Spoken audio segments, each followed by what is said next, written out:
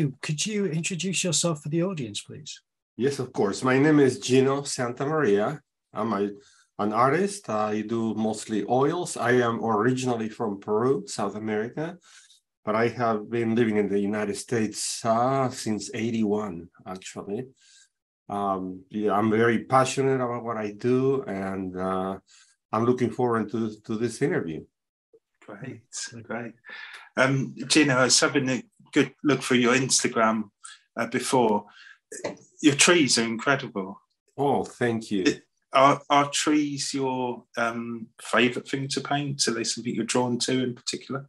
Yeah, very good question. My children tells they tell me very often that all you paint is trees, and I tell them that's all we have in the Midwest. yes, yeah. Now, because of that, yes, I have developed a very, I'm very fond of trees, of course, but I like to paint everything.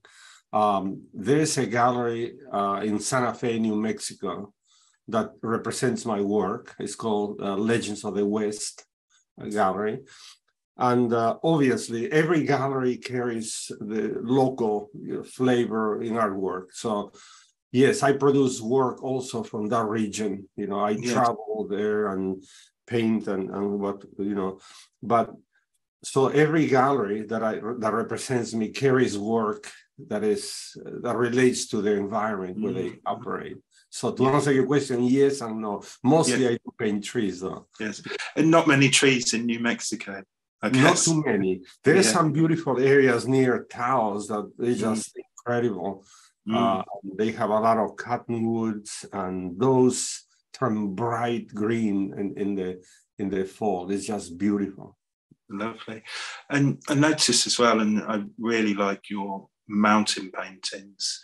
So paintings where you've got the mountains, and mountains are particularly difficult to paint. Um, yes. More in, in, I think, the tones and the colours of them. It's a sort of blues and greys within there. Which mountains are you painting, first of all? Uh, some of the mountains that I have painted are from Colorado. Yes, yes. Some uh, are from uh, Wyoming.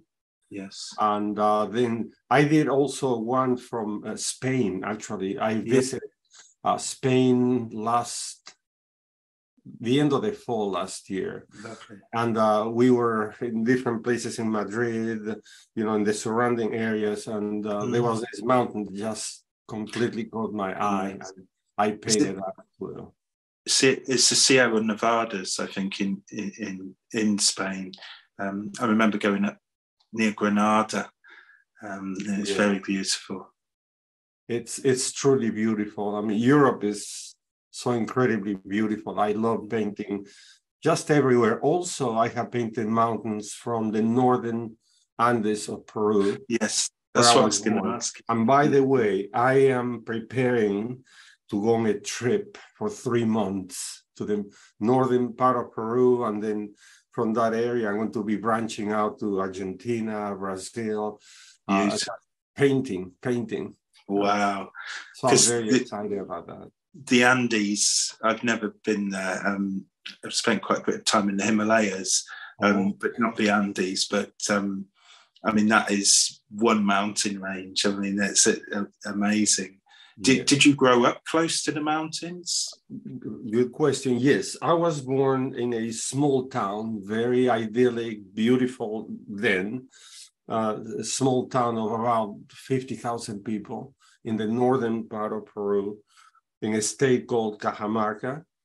And uh, I grew up there until I was 13 years old. And uh, mm-hmm. it is perfect there. They, that's where I be headquartered, you know, when I go for three months. Yes. Uh, it's the weather is absolutely perfect year round, sunny most of the time.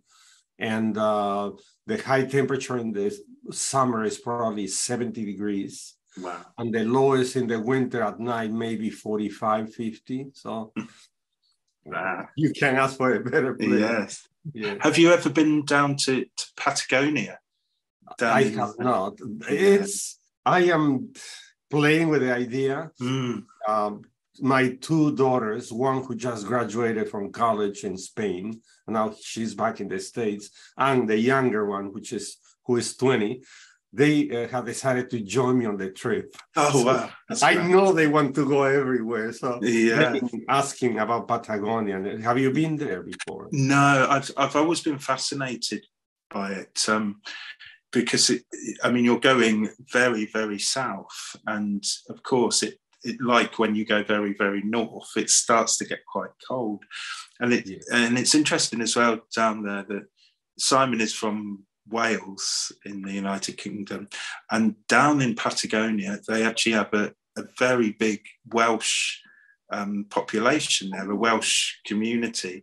Um, so I've always been fa- I'm, I'm fascinated by those sort of strange out there places that, that are a little bit different. Yeah, I have a twin brother who is also an artist, and he Mhm. actually lived in London for a while. He Right. absolutely loved it. He made Yeah. great friends, and it's a great, very artistic place as well. Yeah, absolutely. So, what does your brother paint? Gina?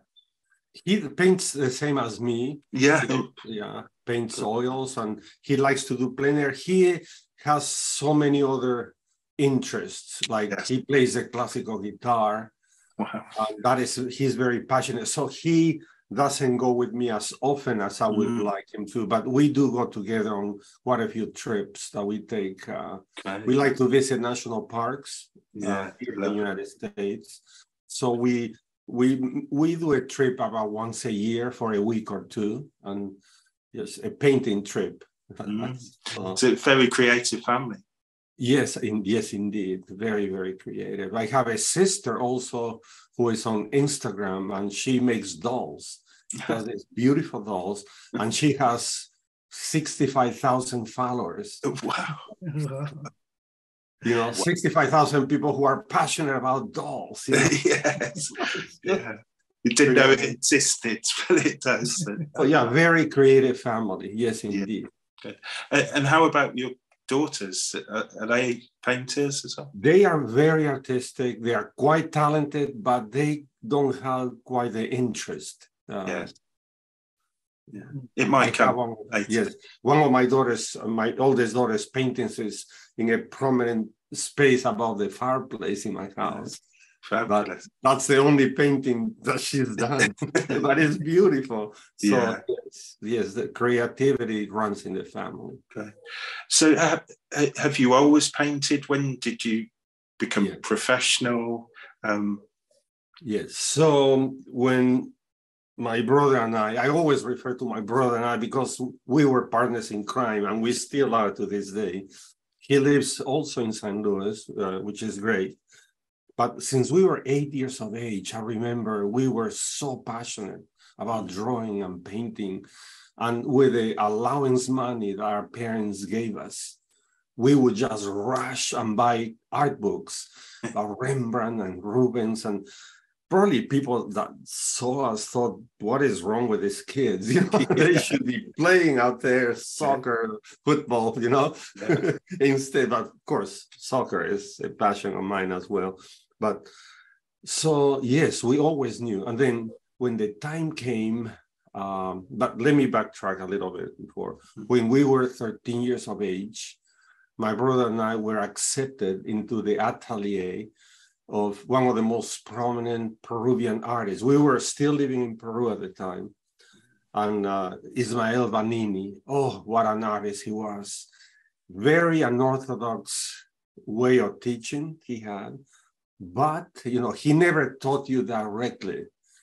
He made you look for the answers, which drove me insane at times. But so we grew up uh, in that environment every weekend, you know, every vacation day, we were painting in his studio. Mm. And we learned to copy the masters, Rembrandt and Rubens in particular, those Mm. two.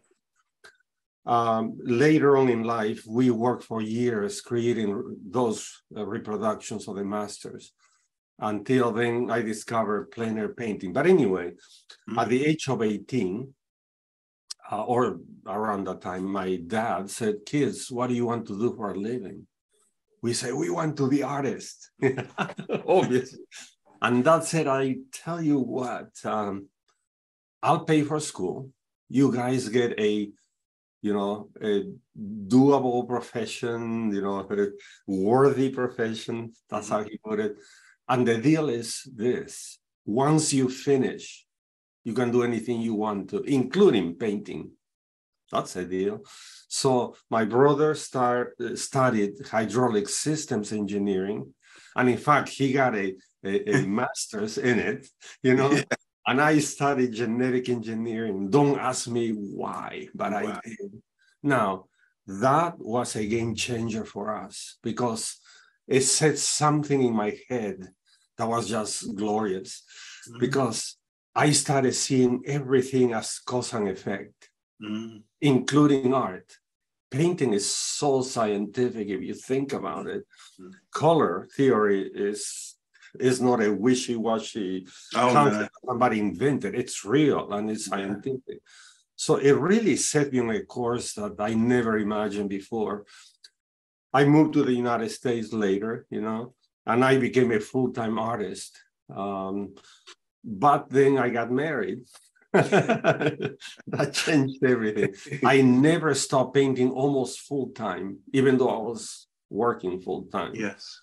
And uh, so, fast forward to today, that's mostly what I do. I do a bit of um, IT work on the side, yes. and it's been really helpful. But and I, at one time in my life, I used to be a member of the media. I cover presidential elections for, uh-huh. uh, for uh, uh, you know, every four years. If you Google my name, Gino Santa Maria, you'll see actually quite a bit of my photographs, you know, from uh, all the, you know, the, the Trumps and the Clintons and all the, all these uh, photos. But that is that is way in my past. I don't do that anymore. I'm no longer a member of the I didn't renew my credentials because I yeah. want to pursue painting full time. Yeah, yeah. That's where we are today. So it will be soon that you Google your name and it's mostly your paintings yeah. rather than your your press images. yeah, yeah, yeah. The press images I no longer do. Uh, yeah. the, the the good news is I still collect royalties for that. it's a wonderful thing. But um, uh, yeah, I want to dedicate myself fully, 100% to painting. Fabulous. Good. So, a day, say if you've got a full day, no responsibilities other than painting, how would you start that day? Where would you go? And yeah. what would you do? Really good question. Um, the reason I brought up the studio painting, the paintings that we did, the recreations and all those things, my brother and I, we learned to copy very, very well, but we couldn't, we had a difficult time creating something on our own. And so I tried it, you know, tried to create things in my head and then painting, it was difficult. Five years ago, I ran into plein air, the practice of plein air by pure accident. Uh, I don't remember even how, but I found myself entering a competition of plein air painting. And uh, the arrogant person in me said, I got this. How difficult can that be? You know, you just paint what you see. It absolutely floored me. Yes. I I was lost. I didn't know what to do. Mm. And I scratched my head and I thought, how is it possible that I cannot copy what I see? Well, the light was changing, obviously, chasing the light, the proverbial chasing the light problem. But that set me on a course that absolutely changed my life. Mm-hmm. Absolutely. My painting style changed.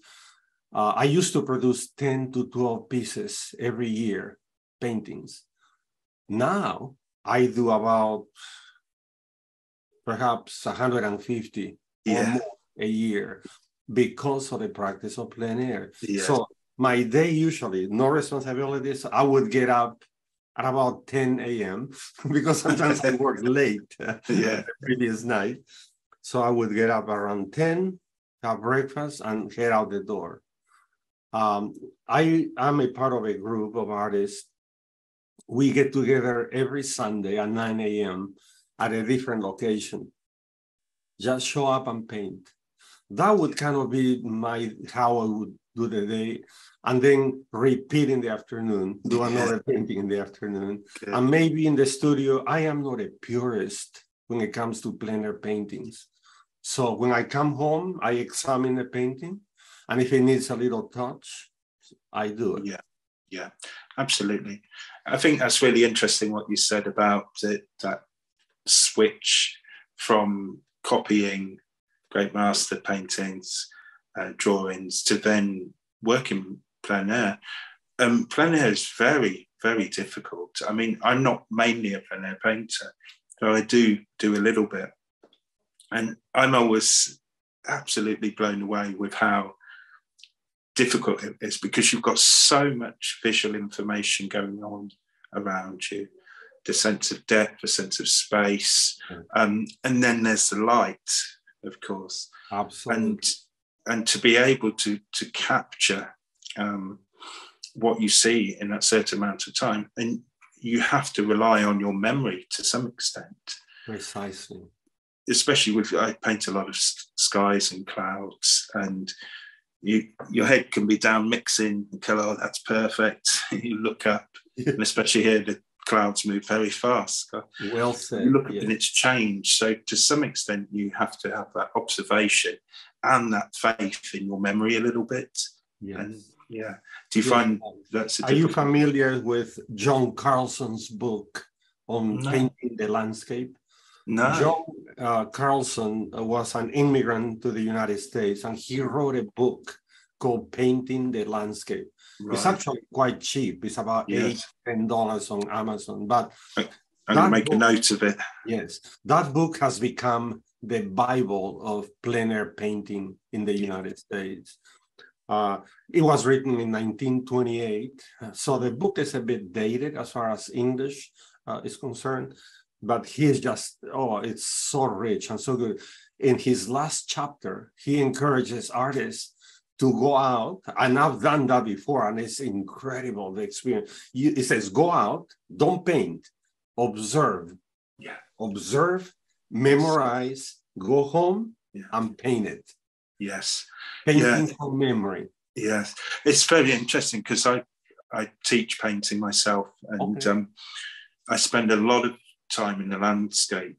Um, and I don't class myself as a plein air painter because I'm I'm not a purist. But what I will do, I will go and watch the sunset, watch the sky, and at most I will make tiny just thumbnail sketches just with a pencil or pen of just the composition.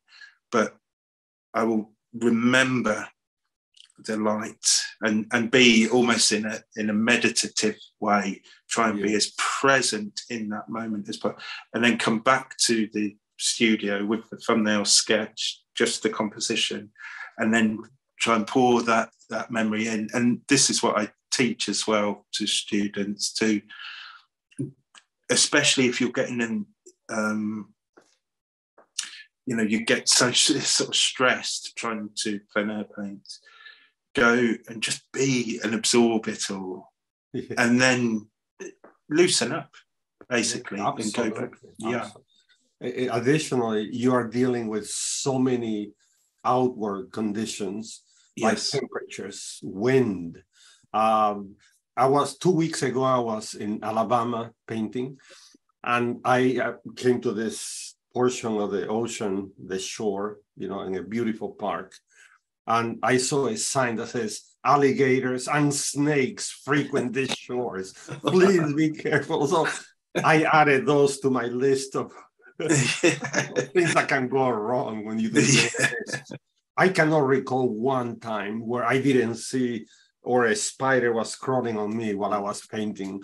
it's Mhm. just part of it. In the in the Midwest here, we have rattlesnakes and we have yeah all kinds of other snakes. You just develop certain and chiggers, by the way, chiggers, which uh, one of my good friends uh, is very sick uh, with Lyme disease. yes So as plein air painters, I don't care if the temperature is 100 degrees. We wear pants, yes boots, and then make sure that we wear repellent yes because we are always out in the woods. And afterwards, you know, we develop, we have developed the practice of checking to make sure that you didn't get any yeah. any of those because yeah. it can be very devastating. Yes, it's a it's a very elemental thing, I think, painting, and especially uh, where you are in the states. Here, we don't. Thankfully, I mean, we do have ticks and could get mm. Lyme's disease, but thankfully, we don't have any rattlesnakes or anything here. We do have a lot of rain, a lot of wind. so if you if you're out painting, it's one of those things you have to prepare for. And I think with plein air painting, that it's analogous in many ways to to a lot of other things like hiking or camping or you know, being an outdoorsman in that sense. Um, but that's where the beauty of it is. Yes, yes, that is. Uh, I call plein air painting also my therapy hour or my happy space, yeah. happy place. Uh, it's I don't know. It's it's is that time that I connect with nature, that I am out there by myself, and I prefer the more isolated area, the better. You know. Yes. And uh, just to, to be there, where with no modern distractions other than this than the cell phone is just it's an amazing yeah. experience to me. Fabulous. I've been doing some plein air painting myself this year, and one of one of my trips, I'd it was going out into the into the mountains because there's lovely mountains are not too far away from me, and I've obviously got this checklist of brushes, paints, palette, water, spare water, a few snacks, and you have your easel and your canvas. It's a lot to carry, and I kind of sling a bag over with most of the things I have like the easel is separate in a little bag over my shoulder. And then the canvas I just shoved against my back and through the straps. And it was just held there. And I primed it orange before going. And I go marching through this field and over a stile and then through another field. And I got almost to the end and really close to this part where there was some trees. And I realized my canvas was no longer on my back. Oh, oh no. And I looked back and I could see in the distance this orange corner just poking out of long grass. So I go marching through back to the other field to get it and come back. And it's just, it's things like that which you just think, I need to double check out because you just, you know, you know, traipsing yeah. through the wilderness to try and find your spots which you're inspired and you're going to paint. Is there anything which you've experienced in your trips out in the in the wild where you just think that was a calamity. That just went wrong. well, the good news for you is that canvas fell before you painted it. That's true. so uh, I, I believe there are two kinds uh, of plein air painters, and only two. One, those who have lost a painting due to wind or something, and those who will. There is no other kind. so yes, I have uh, my paintings have fallen on the floor. They have blown off the easel, uh, and every friend that I have, you know, has had some type of experience along those lines. But you know, also you develop. Uh, uh, a list or a check for, to make sure that you bring everything. One time I got they're ready to paint and oops where are my oils? Yeah. Didn't have them. So thankfully i had uh, met up with a friend to paint and i was able to to use his but mm. it's very you develop those with practice you know to make sure that you have everything in the united states as well as in europe i'm sure. Year after year after year companies develop new and better easels you know. Uh, I recently purchased this. It's called the uh, the Soltek Compact, and it's only seven pounds. It literally sets up in ten seconds. Wow! Literally, and uh, it is the ideal solution for me be- because I'm about to undertake this trip for three months to South America, and carrying light uh, mm. luggage was critical. Also, I found that I can take a pad of linen pads and would be much lighter than yeah. to have linen panels or canvases. Yes. Especially since I intend to do, I don't know, I'm very ambitious, I suppose. I intend to do about 80 paintings or so during yeah. my trip. So, so Gino, with you're saying with the so basically sort of sheets of linen primed. Um, and and looking at your easel, will will you have to carry a board to tape them to, or Yes, something like that? exactly. A board and use clips or Yes. tape. You know, Or tape, yeah. tape the corners. Then this later, yes. So I, I have been preparing for that. Uh, also, I have found the Strathmore oil paper yes, very, very good. I'm delighted to yes, to have found that because I like the texture, you know. And additionally, I prime them one more time, oh, okay, all my yeah, surfaces with oil ground.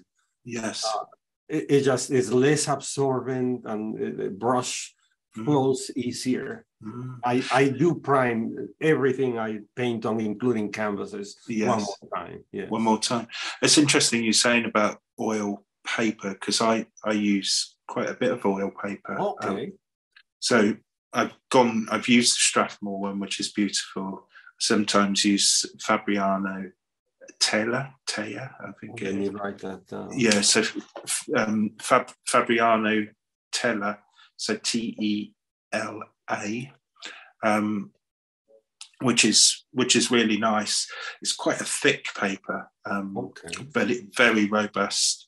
Um, I, I've also used the the arch or arches, however you say Yeah. it. Yes. They do their own, but I'm not so keen on it because it's much more like a, a, a watercolor paper. So it's so like a hot press, not like an oil surface. Um, but here we have uh, Jackson's Art Supplies, which is uh, our art supply shop, and they do a fantastic oil painting paper, which is very similar to Canson and Strathmore paper, and and, Okay. and, and relatively cheap, um, and especially for if you're going out somewhere plein air painting, well, it's just so much lighter to carry. Um, Yeah, quick so much lighter.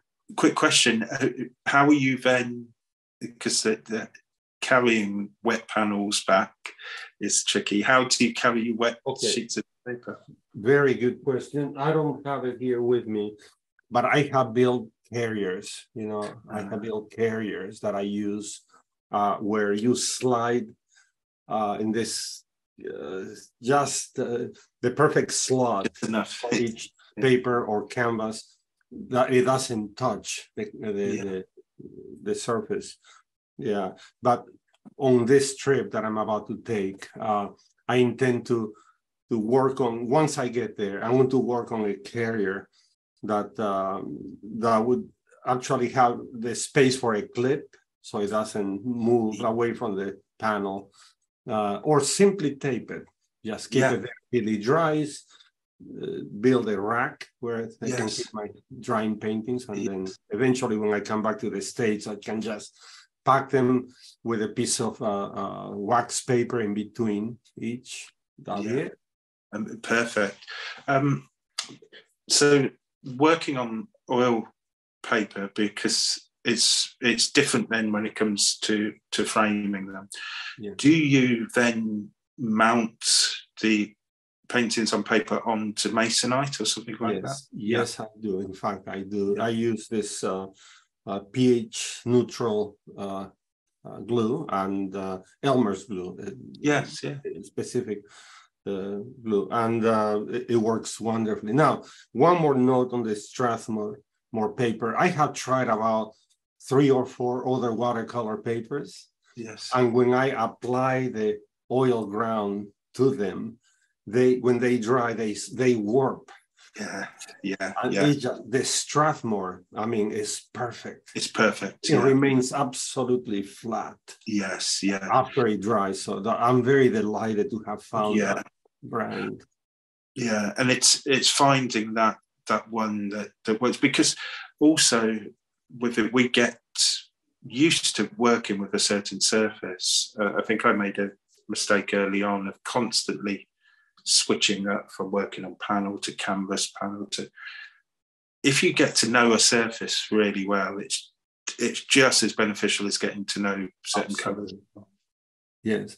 Um, for that reason, uh, my linen canvases are of a certain brand. It's called Centurion. I don't know if you're familiar. i've heard of it. They, they work fine. I have worked on more expensive linens and I buy, buy them by the roll, but I have found I'm used to this.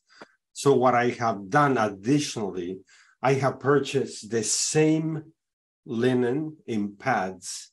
Uh, No, 10, I believe 10, I forgot, I think 10 each, but I buy the larger ones and I cut them to size because a friend of mine has a printing company and they have a large cutter that cuts to perfection. So yeah. I did that and I cut eight by tens and nine by twelves that I will be taking to Peru Yeah. for my trip. Great. So Same what- surface, exactly. Same surface. So what um for plein air, what would you what are your normally normal sizes? So you say eight by 10, 10 by 12? Yeah, my my normal size is either an eight by ten or nine by twelve. Those Yeah. are my go-to sizes. Yes.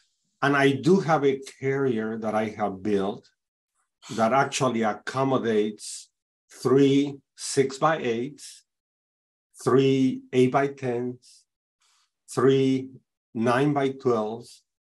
And so when I get there, I decide I don't have to just carry one panel. Um, and it's very, very useful.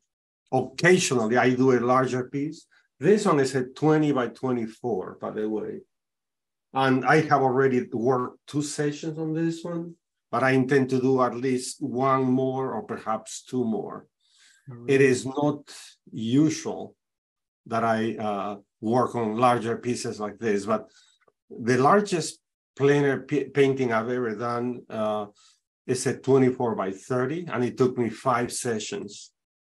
Wow. The trick about doing something like that is you have to wait for the right conditions, you know, for the right lighting conditions and so forth to be similar to the, the I was going to ask, is there a time of day when, because you've got such a nice light in your paintings as well, is there, is it early morning or is it, you know, what's what's the time of day that Yeah. suits you? I prefer uh, late afternoon because that is when the colors are the richest. But having said all that, uh, there's an expression in plein air painting uh, that says, do not chase the light. in other words, you see something that you like and you start painting, but the light changes, then you change. Yeah. That is no, no, no. Yes. Decide what you want to do, memorize that. And to, in today's world, you have a cell phone. Take a photo if you have to Yeah. although a photo is a very terrible Yeah. representation of what you are seeing because it does not capture the colors right. Yeah. That's why memorization is so important Mm. Absolutely. Because you could be chasing that light all all day. all, all day and there's there's something about the the freshness and immediacy of seeing the light that you like Yes. and, and then as an artist you have then that power like you were saying from your memory from your technique to be able to capture it like Yeah. that Yeah. and it's it's being able to be completely in the moment and that is that interesting thing with plein air painting but yes it's observation absolutely it's observation but it's also artistic license as yes, well oh, 100%. In fact, uh, one time when I first started doing plein air painting, I was a literalist. In other words, I would see a tree and another tree and another tree. They were perfectly equidistant to each other, boring. Me, I just copy exactly that. yes And I, I felt this is not working. My friend Sean, who is a dear friend, a, a purist when it comes to plein air painting, a 100% pure, put his hand on my shoulder and he said, Gino, I give you permission to change things. I said to him, Can I get that in writing? yeah That really triggering my head. Now, reading later John Carlson's book, he says in his book, nature will rarely give you the perfect composition. yeah It is incumbent upon the artist to arrange, embellish, or eliminate uh, elements of the landscape in order to suit your composition. absolutely Huge concept. yeah. Huge. some uh, two british um famous british painters landscape painters uh, edward seago who's a Oh, of course. So Edward Seago and John Constable, you know, because but they would do that all of the time of moving. So, you know, the, the windmill is here and the tree is there. Move the tree over. you create that composition. Absolutely. You're the artist. Absolutely. Now, uh, there is a an artist that I greatly admire. His name is Bill Anton. Bill Anton. Bill Anton. Check him out. He is so good. He's so exceptional. He's one of those few artists that uh, every time he sells a paint, I'm, I'm sorry, every time he finishes a painting uh, and he goes to a gallery, uh, uh buyers have to submit. Uh, wow. Uh, you know, like they do it by draw. Yeah. So many people want his. Yeah, that is crazy, right? Wow. That they do a draw on the lucky winner gets to buy that painting. Anyway, Bill Anton was giving a, a, a lecture one time. And one of the guys said, uh, Mr. Anton, I would give anything to know your secrets. Hmm. And Bill said to him, I tell you what, go out and paint outside every day for a year when you come back, you won't need my secrets. Yeah. There is no secret to painting. And then he says something very important. And I have, from that, I have coined an, a, a, phrase that I use for my, when I teach. And that is uh, knowledge by itself won't make you a better artist, but knowledge with practice will the perfect example, I ask my students, how many of you study Spanish in school? Most of them say, and then I say, entonces me entienden perfectamente lo que estoy hablando? And they go, and I go, I thought so. Absolutely. you did you didn't practice. That's why you yeah. didn't learn it. Yes. And so practice. I mean, knowledge without practice is almost useless. It's just head knowledge absolutely.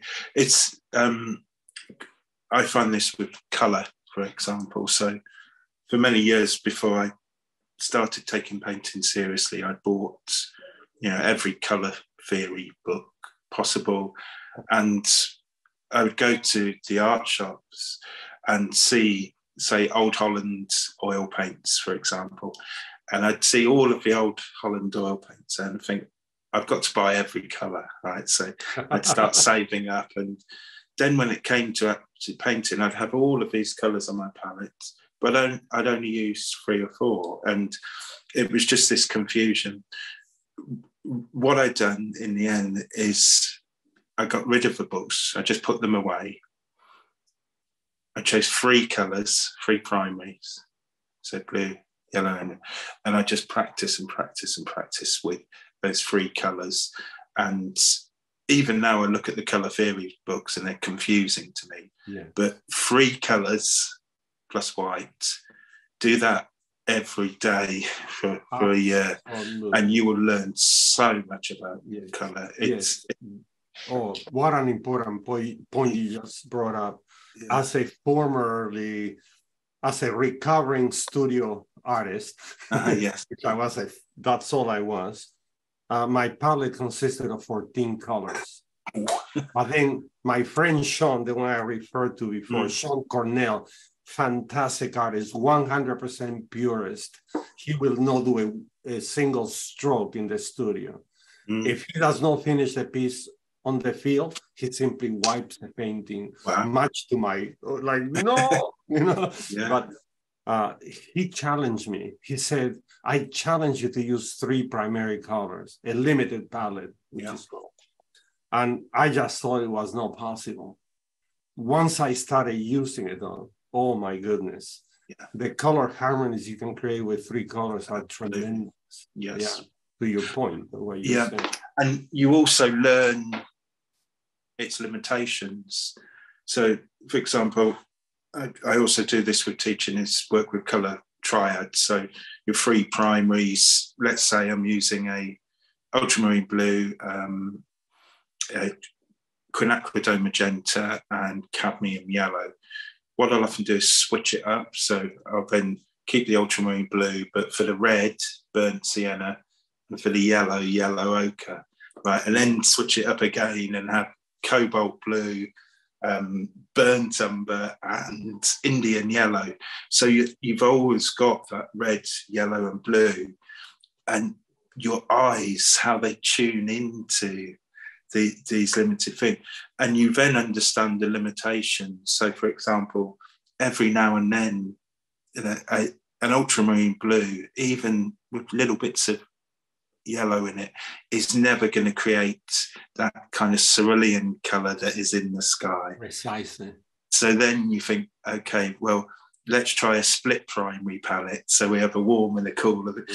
So you start with the most limited and then think, oh, I've hit the, the threshold, I've hit the, so let's add something else in rather than having um, you know, 100 colors. Where do I start? Start with the basic and then step up from that. Good point. Um, I started, I adopted a limited palette for my yeah. plein air work. But soon, once I got very comfortable with that, yes. To your point, I, I discovered that it's you are limited. That's why it's called the limited palette. but then I listened to a teaching by uh, um, an artist by the name uh, Smith, and he suggested you introduce a warm and a cool color of each of your primary. So I introduced the light yellow, and then the alizarin crimson for my cool red, yes. and then the, the cobalt blue for my cool and that just changed everything. His name is Matt Smith. I don't know why. Matt Smith. Matt Smith, fantastic artist from from the, the West, you know, the, you know, from the Arizona area. Yeah. And then Scott Christensen, another amazing artist. Yeah. Christensen, not Christiansen, but Christensen.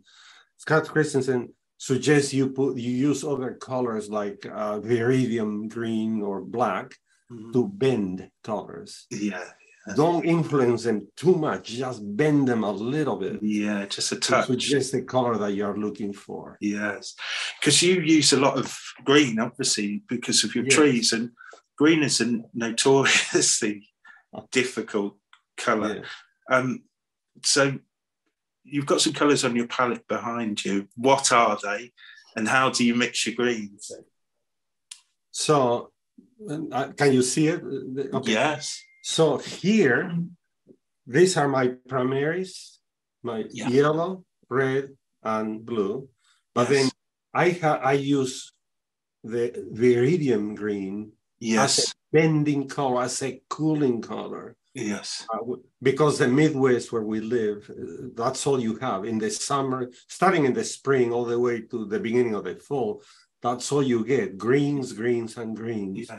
Yeah. So knowing how to properly paint them is hugely important because Absolutely. my greens start diminishing in chroma with the distance and also in value. Yeah. Now, you have to, as an artist, exaggerate a bit because you are doing a painting, not a photograph. Mm-hmm. So, yes. And then I also use uh, ivory black right. as a bending color to to kill the chroma a little yeah. bit.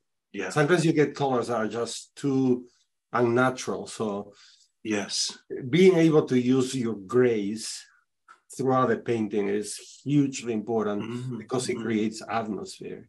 Absolutely. And of course, I mean, ivory black and cadmium yellow make great greens. Yes. Yeah. Now, uh, for for the long forever for ever since I've been painting, I have used cadmiums, you know. Yeah. But for the first time, I'm using now from Winsor and Newton, which is my yes. favorite brand, uh, cadmium free yellow. Yes, yes. And cadmium free red. Ah. Uh, my and understanding, because of my background in chemistry and all that, yeah. is that cadmium is a heavy metal, but it's harmful to humans if it's in a water solution. Uh, it does not hurt you if it's in an oil solution. The problem comes if you wash your brushes like I do. You know, you put water and soap, and then uh, Ah, uh, now you have a water soluble solution on your hand. Although the skin is not very absorbent, that's why yeah. that's why the function of the skin to protect yeah. it. Still, just to make sure, because at one time I wasn't feeling quite well. So I decided maybe I need to make a change with my cadmiums. Ah. So I went to cadmium free and it's been it's been great. What's the opacity like? Uh, okay, I use um, artist, uh, uh, yeah. the artist, uh, um, not the, the, the, student, but the artist yes. Uh, oils, and the opacity is tremendous. Is it right? Really, really good. Yes. Yeah, because that's what a. Um, I mean, I use mainly cadmiums, uh, original cadmiums, and it's always you know the reason is for that opacity, and I know that they have for many years tried to create cadmium hue, you know, where I where they can, but no. it's not like that. It's it's. No. Yeah. I am I am pleasantly surprised how mm. the opacity is, is one. I, I cannot tell a difference. Uh, yes. Everything started when Winsor and Newton offer to offer me free samples to try them out. So I thought, what do I have to lose? I tried them and I was frankly uh, astonished how well they work. Yes. Great, great, good. So going back to trees, is there um, we we have these Scots pine trees here, which are so beautiful, and um, I didn't pay attention to um, so much before, but now I just keep looking at them all the time and I can see them. And I haven't painted them yet, but I'm looking forward to. Do you have a particular tree that is your tree, your go-to tree? Uh, I like oak trees, and there's a wide variety of them. Mm. I like ash trees as well. Mm. And cottonwood trees are so beautiful in the fall as well as maple trees. You know, here we have abundant, uh, yeah. uh, an abundance of, of, maple trees and different varieties. So mm. now uh, I'm finding myself mentioning too many trees. So I guess I like them all, but they yeah. are just, uh, oh, um, I like them all. Maple trees are beautiful in the fall as well. Yeah, absolutely. Those those colors are incredible. Yeah. Sort of rusty red, yes, gold. Absolutely. And knowing your trees, I think, is important too. Yeah. And, yeah. and I use an app, you know, to identify them. Ah. I cannot tell what kind of tree it is. Yeah. And then once I identify it, uh, I read a little bit about it to make sure that I, uh, you know, understanding your subject is mm. very, very important. Just like when you paint a person, you want to know the, the, the personality. Yeah, yeah. And John Constable with his clouds. So Constable oh. on Hampstead Heath in London, he would sit there painting the clouds, and he he would actually go along then to the Royal Institute um, or Royal Society. I can't remember. Anyway, the the Science Institute in London, and he would go and he would talk about the clouds to these scientists because he built a relationship with the clouds through painting them and looking at them. So mm. the arts were feeding into the sciences and vice versa. Uh, yeah, in fact, when I was a teenager, I painted a large uh, constable, the the hay the wagon, I think it's hay, called, hay, yeah. Hay Wain, yeah. Uh, yeah. for my parents, and they kept it in their family in their living room for years. now my sister has it. Yeah. Yes, uh, I was growing up. I was obsessed with Constable. It was uh, yeah. he was one of my favorite artists. How important is abstraction in your process? You know, to make sure certain things aren't as fully rendered as others. Okay, very good question. In the background, I have a very large painting that I did. I think I finished that in 2006. And the only reason I keep it, okay, is so to remind myself how not to paint. I've been tempted many times to paint over in my new discover, newly discovered style. It has so much detail, so much detail. Yeah. one but let me remove this. So much detail. Yeah. But um, I am discovering to, to answer your question that being able to create abstractions in the micro level, you know, but then that express something representational is a thing of beauty and of great satisfaction for me. Uh, yes, I am trying to be more loose, you know, uh, and create more abstractions that speak of reality. Mm-hmm. Uh, it's not easy. no, it's better than done. yeah. And, yeah. and it's interesting because it, your painting there actually reminds me of Hay Wain a little bit. Yeah, it does. The, the, the composition. Yeah. Um, and it's interesting when when you look at Constable. Um, so my favourite Constable paintings are his oil sketches. So the ones that weren't shown in the academy because they weren't rendered well enough. Right. But um, they're in the Victoria and Albert Museum in, in London, and they are the loosest, oh. most luscious and amazing um, paintings, which went on to influence the Impressionists. And um, but at the time, they were seen as crude and um, unfinished. But the way he captures um, clouds or a bit of land is just through these brushstrokes. So from a distance, you look at it and it's a cloud. You get close up and it is very abstract, purely painterly abstraction, just incredible. And um, I think that that is that that goal as painters that we, you know, we, we sort of start tight and precise, but as you get that confidence and develop, it's that that looseness. But how you you you keep that fine line between abstraction and representation is the difficult part. Yes, I believe most artists progress to the more abstraction mm. type of work. Uh, I have been intentionally trying to become more loose, uh, but sometimes using, for example, larger brushes. One of my friends says, use a brush that is a bit larger than you would normally mm-hmm. use. Uh, that helps. Uh, yes, yeah. To create more abstractions. And another one is be more generous with the amount of oil that you use. Uh, because I was trained in the classical uh, style, the lighter the color, the thicker the application, and vice versa. You know, if it's a darker color, I just put thin layers, like Rembrandt, much like Rembrandt. Yeah, yeah. Um, like you were saying there about using the the big brush. Um, going back to to how I teach, I will just use those three colours, but give them all a. I'll find one of the brushes very quickly. Yeah, and while you do that, uh, I'm going to mention I am delighted that years ago I found Rosemary and Company brushes. That's mm. all pretty much I use. They are just amazing.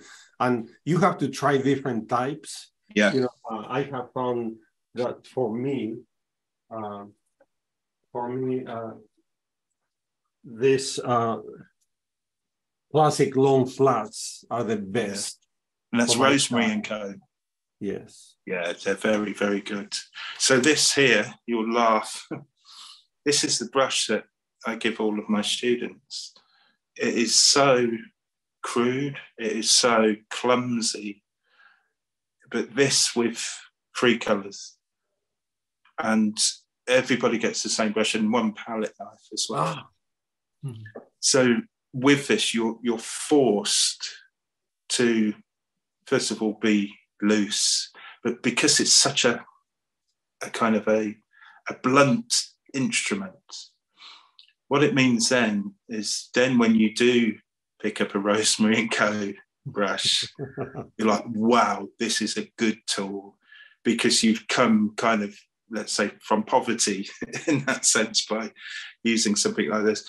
But what it does, it helps you to, to be so much looser and to think, well, you know, how can I get a small um, detail in here? Detail with that. You know, to, to, you're using little parts of the brush like this, and then one palette knife. And, and, and what I find is uh, people start really loose and then they start to tighten up with it because the skills they're, they're getting. So rather than starting really tight and then trying to get looser, they're starting very, very loose and then learning how to render things a little bit better just with those um, those blunt instruments. And I actually use these a lot as well.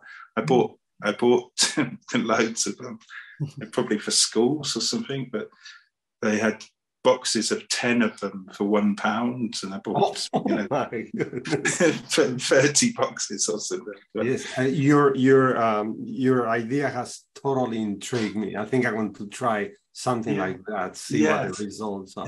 Yeah. yeah. And because you've already got those skills, you know, but you limit, like with the limited palette, that you limit yourself just to that really. And of course, when you first do it, you you'll want to throw the brush out the window or snap it over your knee but but it, it just gives you you know it gives you that looseness um, because of its limitations. And then when you do pick up your lovely Rosemary and Co brush you're like this is heaven.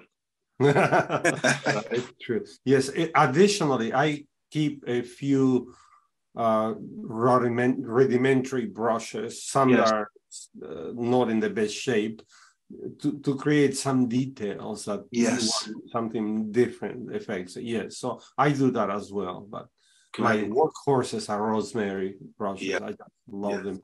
I love the just i bought quite a few of them by the way. You know i tried this and i tried that and but this particular um, classic long flats i yes. have found them to be the best for my style. Yes. And again, it's those things like you were saying about the canvas, the linen. The, the more one gets um, accustomed to their tools, you know, the, the better you can paint. Yeah, in that sense. Yeah. I have even tried, for example, Claessens uh, linen. Yeah, it's very expensive. I I liked it, but it didn't really it, it didn't hit home with me. Yeah, mm. yeah. I had a briefly had an art mentor, and she she was very similar to your atelier experience to the extent that she came from the school of Rubens, so she was very thin with the layers of paint, and she also it made me smile when you said how unorthodox your um, I, I can't remember the chap's name who you said would would teach. And she was very similar where it was like pulling teeth trying to get any information yes, out. that's what it was. So, and yeah. I used to do it by reframing it as her work because otherwise, if she was to reflect on my work, she'd just be supporting and say, very good, or where's this, you know, where's the light and where's the, you know, she just asked me about the scene as opposed to my work. Yeah. And I used to have to say to her, if you made this, what would you change? She'd say, oh, well, in that case. And that was the only time when she'd say, I changed oh. this. You'd have to consider that and think about that. Is there anything where, when you were in that atelier, where you there was something which was was you actually did get some imparted knowledge, which was, you know, not you didn't have to kind of uh, work out in it in some kind of trickery to get the uh, get the words. Uh, yes, well, uh, his work was well sought after. Um, every single painting he ever painted just would you know, selling his clientele was uh, in general very wealthy people.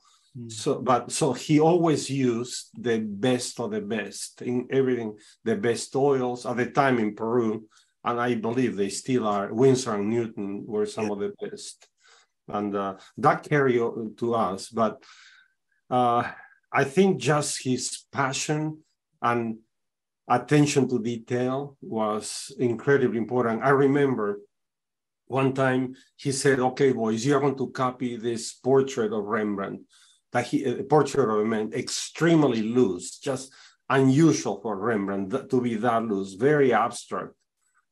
I think we spent three months or so working on that. He wanted every brush stroke wow. identical. So finally, thank God we are done here. He was okay, very good. I have your next project, boys. You are going to do it again it's like what?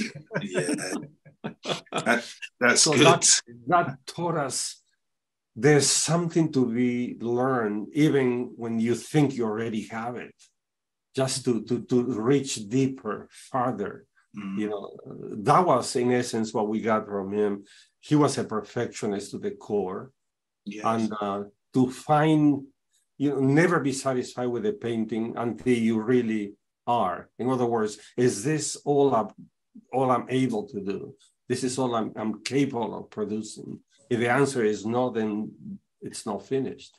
Yeah, and that, that discipline as well of it being. Um, I've talked to people before who say they would like to be artists, and they say, but you know, I, I don't get inspired that much to, to paint. I said, you're getting it wrong. you know, you know insp- I mean, I can't remember who said it, but sort of talent was um, 1% inspiration, 99% yeah. perspiration. Yeah. You know, but it's this idea that you that you turn up and like you were saying with your teacher there, that it's a discipline to be a painter, to yeah. To be an artist, both in the learning but also in the um, the mode of of of being an artist. You you have to turn up and you and the more you do it, the more you do it, the more passionate you become. Absolutely. You don't have to force yourself. Uh, a quick anecdote I have a friend who is a motivational speaker. He does that for a living. Years ago, he was trying to uh, get me to, you know, to, to, to hire him so he can. So he wrote me uh, an email and saying, Gino, how would you like to get up in the morning and say, I cannot wait to do this and be passionate about it. And when the end of the day comes and you have to stop, you get mad because you have to stop. So I, I answer the email, Dear Mark, which is not his name, you know. I said, Dear Mark, um, if I get even this much more passionate about what I do, mm. my wife would probably leave me. yeah, very true. Very, well, and it is, been, it is such a passion, isn't it? and passion. I, yeah. I'm sorry to have to wrap up. We're so close to half past now, so I just want uh, to ask: Is there anything you'd like to promote as far as an exhibition or your social media? Where would you like people to go and see well, you? I think. Thank you, thank you for asking. I think the easiest way to find me and follow my work is on Instagram, which is Gino G I N O Santa Maria Art. That is the easiest way. I, I post there everything that I do from day to day basis. And uh, I think that is the best. And my website, of course, ginosantamaria.com. Fantastic. Well, you've been so generous with your time. I really appreciate you being yeah, here. It's been a great conversation, Gino. Yeah, likewise, guys. Thank you so much for having me, and I wish you all the best.